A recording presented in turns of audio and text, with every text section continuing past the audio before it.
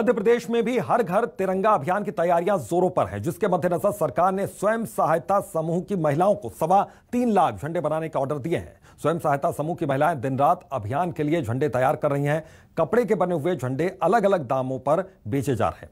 विक्रय केंद्र पर खास फ़ोटो बूथ बनाया गया है। तो स्वयं सहायता समूह की महिलाएँ तीन लाख झंडे तैयार कर रही हैं।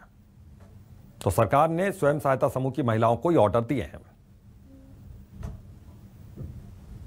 में पूरे मध्य प्रदेश में हर घर तिरंगा अभियान की जोरों शोरों से तैयारियाँ चल रही हैं और आप मेरे पीछे देख सकते हैं, फ़िलहाल मैं जहाँ पर मौजूद हूँ, ये वो जगह है जहाँ पर स्वयं सहायता समूह की महिलाएँ जो हैं खास झंडे बनाकर वितरण कर रही हैं। जी हाँ फ़िलहाल मैं राग भोपाली पर मौजूद हूँ और यहाँ पर आप देख सकते हैं कि स्वयं सहायता समूह की जो महिलाएँ हैं वो झंडा वितरण करने यहाँ पर बैठी हुई हैं, झंडा विक्रय करने बैठी हुई हैं। अगर हम बात करें, देखिए, ये जो झंडे हैं, ये इन्हीं के द्वारा बनाए गए हैं, इन्हीं की मेहनत से बनाए गए हैं। उनसे बातचीत करने की भी कोशिश करेंगे और जानेंगे आप लोगों ने ने ये झंडे बनाए हैं कितना समय लगा है और पूरे प्रदेश भर में तिरंगा अभियान जोरों शोरों से चलाया जा रहा है? जी हम लोगों को टारगेट दिया था सवा तीन लाख का।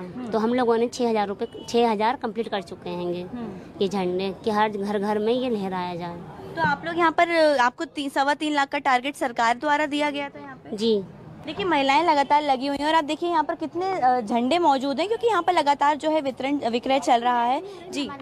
अंदर अंदर सिलाई भी हो रही है अच्छा देखिए अंदर यहाँ पर लगातार सिलाई भी चल रही है अंदर जो है यहाँ पर झंडा विक्रय केंद्र बनाया गया है और अंदर सिलाई भी चल रही है। तो देखिए यहाँ पर जो पूरी तैयारियाँ हैं हर घर तिरंगा अभियान की वो यहाँ पर लगातार चल रही हैं और यहाँ पर है जो अगर हम बात करें तो लगातार सभी जो बड़े नेता हैं कलेक्टर हैं सभी यहाँ पर अपील कर रहे हैं कि झंडे जो हैं झंडा जो तिरंगा अभियान है उसको सफल बनाया जाए और कहीं ना कहीं पूरी तैयारियाँ मध्य प्रदेश में यहाँ पर विक्रय केंद्र भी तैयार हो चुके हैं। पूरी तैयारियाँ मध्य प्रदेश में हर घर तिरंगा अभियान को लेकर चल रही हैं। कैमरामैन राघवेंद्र पांडे के साथ अमृतांशी जोशी, न्यूज़ ट्वेंटी भोपाल।